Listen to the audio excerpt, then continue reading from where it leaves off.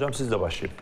Şöyle ki Cumhurbaşkanı Erdoğan dün e, iş konseyi toplantısında yani ABD Türkiye İş Konseyi toplantısında güzel mesajlar vermişti. Ben okuyayım hatta. Değerli dostum Başkan Biden'la 14 Haziran'da Brüksel'de yaptığımız samimi ve kapsamlı görüşmede bu konudaki ortak irademizi teyit ettik. İş geliştirme ve ticaret hacmiyle ilgili Sayın Başkan'la ekonomik ilişkilerimizin geliştirilmesinin hem mümkün hem de gerekli olduğu hususunda tam bir mutabakat içindeyiz. İkili ticari hacmimizi 100 milyar dolara ulaştırmaya yönelik kararlılığımızı beraberce vurguladık. Bu rakamın doğru adımların atılması halinde rahatlıkla erişilebilecek gerçekçi bir hedef teşkil ettiğinde en fikiriz diye bir mesaj verdi. Şimdi bugün e, Cumhurbaşkanı Erdoğan temennim odur ki iki NATO ülkesi olarak birbirimizle hasmane değil dostane davranalım. Ama iki NATO ülkesi olarak şu andaki gidiş pek hayır alamet değil diyor Cumhurbaşkanı Erdoğan. Benim başbakan, cumhurbaşkanı olarak yaklaşık 19 yıllık yöneticilik hayatımda Amerika ile olan münasebetlerimde geldiğimiz nokta maalesef iyi bir nokta değil. Ben Oğul iyi çalıştım. Sayın Obama ile iyi çalıştım. Sayın Trump'la iyi çalıştım ama Sayın Biden'la iyi başladık diyemem. Ne dersiniz? Ee, pek çok soru var. Niye böyle dünkü açıklama, bugünkü açıklama arada ne oldu? Beraberinde Biden'la Biden'ın Türkiye ile ilişkileri mi, Biden'ın Sayın Cumhurbaşkanı ile ilişkileri üzerinden mi okumalı bu meseleyi? Ee, neden bu açıklamalar? Nasıl değerlendiriyorsunuz? Şimdi aslında Biden'ın Biden ve ekibinin görevi devraldığı günden itibaren e, şöyle bir durum çok açıktı. Hani Biden'ın kendisinin Cumhurbaşkanı Erdoğan'ın aslında siyaseten tasfiye edilmesi gerektiğine ve bu konuda göreve geldiği takdirde elinden geleni yapacağına dair söylediklerini falan bir tarafa bırakıyorum. Daha henüz seçim kampanyası sırasında. E, ama göreve başladıktan itibaren ortaya koydukları tavır Biden ve ekibi e, bunlar e, Türkiye konusunda bakın orada Cumhurbaşkanı Erdoğan'ın kullandığı kelimelerden birini özellikle seçtiğini düşünüyorum. Hasmane. Hı hı. Şimdi bu e, devletler arası ilişkiler açısından çok ağır bir laf. Çünkü bunun bugünkü da, yani daha anlaşılabilir bir düşmanca. Türkçe tercümesi düşmanca demek. Evet. Şimdi e, e, Biden'ın bizzat kendisinin ve ekibinin e, tavırlarında bu var Türkiye'ye karşı. Neden? E, mesela soykırım kelimesini kullanmaz tek başına. Mesela e, bu kadar müzakerede Rum tarafının ayak sürmesine rağmen iki devletli çözüm önerisiyle Kıbrıs Türk halkı ortaya çıktığında e, ilk karşı çıkan devletlerden birinin Amerika Birleşik Devletleri olması, Anthony Blinken'ın daha göreve gelirken yaptığı açık şeyden Twitter'dan paylaştığı mesajlarda böyle bir şey katiyen kabul etmeyeceklerini falan söyleyerek gelmesi. Ya kardeşim bir dosyalara bak, önüne bak. Yani gel bir Amerikan devletinin çıkarları neyi gerektiriyor bunları bir incele. Yani e, bu AK Parti göreve geldiği günden beri Kıbrıs meselesini adeta tırnak içinde benim çoğu zaman eleştirdiğim bir tarzda çözmek için uğraştı. 2017'de e, Kran Montana'ya kadar da böyle davrandı. Peki karşı taraf hiçbir şey yapmıyorsa, adım atmıyorsa, çözmek istemiyorsa ve Türk tarafı çözüm istedikçe daha fazla tezlerini sertleştiriyorsa ne yapılabilir? O zaman yani Anthony Blinken olarak sen bir göreve gel. Dosyaları bir incele. De ki arkadaş şu Türkiye ile ilgili konuları bir önümüze getirelim filan. Ha denilebilir ki ya zaten bunlar bu konunun aşağı yukarı uzmanları insanlar biliyorlardı ama biliyorlar ama çok da ön yargıyla geldiler oraya. Yani bu ön yargıları hafif, hafife almamak lazım. Şimdi aslında soğuk savaşın bitmesinden belli bir noktadan itibaren e, şöyle bir bakalım. Amerika ile Türkiye açısından çok önemli olan hiçbir dış politika konusunda ortak bir pozisyonda değiliz. Hmm. Yani mesela Büyük Kürdistan projesi. Israrla diyoruz ki bundan vazgeçin. Bu mümkün değil. İşte bunun bir ayağı olarak e, PYD'ye verdikleri desteği gösterebiliriz. Israrla buradalar. İkincisi mesela Kıbrıs konusunda yani tamam çözelim diyorsunuz. Peki Avrupa Birliği bir katalizör olarak kullanılsın. E peki sonuçta benim karşı çıktığım 2004 yılındaki anlam planına kim hayır dedi, kim evet dedi.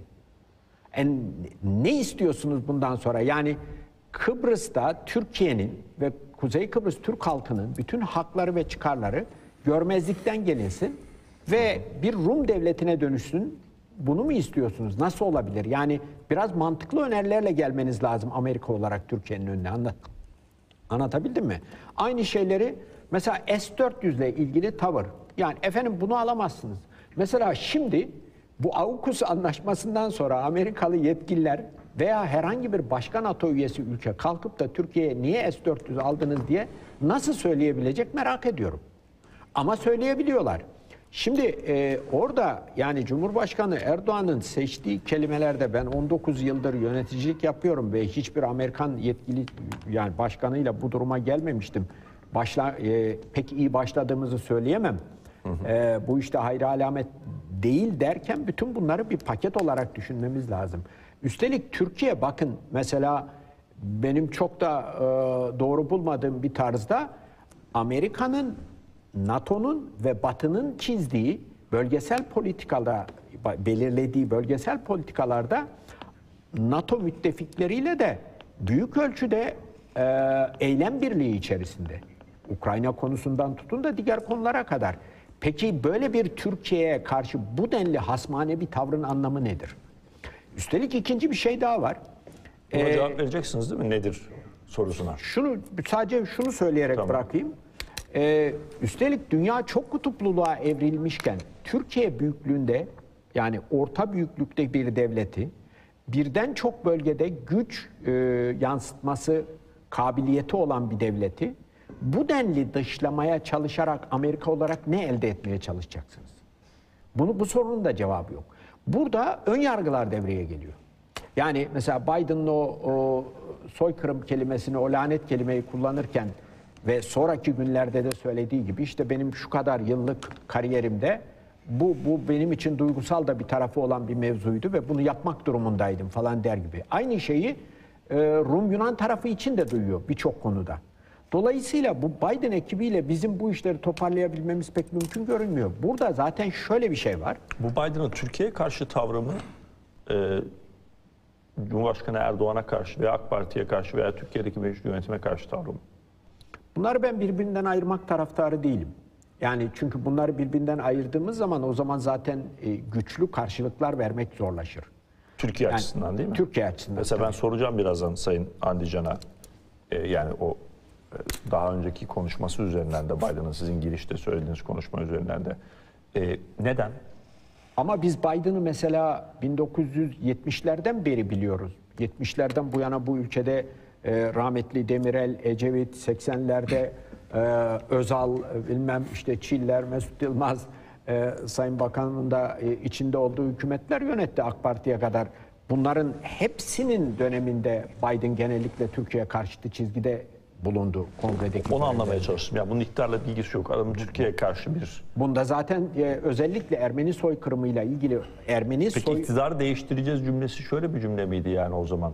Yani o zaman Türkiye'yi nasıl bir cümleydi? Ben ben kurmayayım onu yanlış Ben şöyle, ben onu şöyle anlıyorum. Şimdi e, aslında Cumhurbaşkanı Erdoğan'ı şeytanlaştırma diyebileceğimiz bir yöntem üzerinden gidiyorlar dış politikada. Efendim bu Erdoğan işte otoriter bir tarz belirledi, demokrasiyi büyük ölçüde askıya aldı. İşte şöyle kötü davranıyor, böyle kötü. Bunların içinde doğruluk payı olan eleştiriler de olabilir.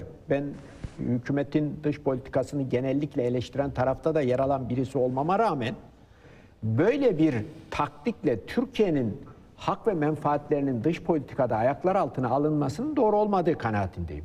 Benim bulunduğum noktada bir akademisyen olarak ama bir yani siyasetçi iktidar başka şey değişseydi Biden mesela diyor iktidar değiştireceğiz. Yani, Yani avantajı ne olacaktı Biden için bunun? İktidar bu, değiş. bu, bu zor bir soru. Yani şöyle Türkiye'de acaba mesela Kıbrıs konusunda iki devletli çözümden vazgeçecek bir iktidar mı gelmesini bekliyor? Veya e, PYD'nin önüne açacak, e, Orta Doğu'da harita değişmesine kadar gidecek bir Büyük Kürdistan projesine onay verecek bir iktidar mı bekliyor? Ya da diğer hayati konularda mesela e, aşağı yukarı e, tam çark edecek bir iktidar mı bekliyor?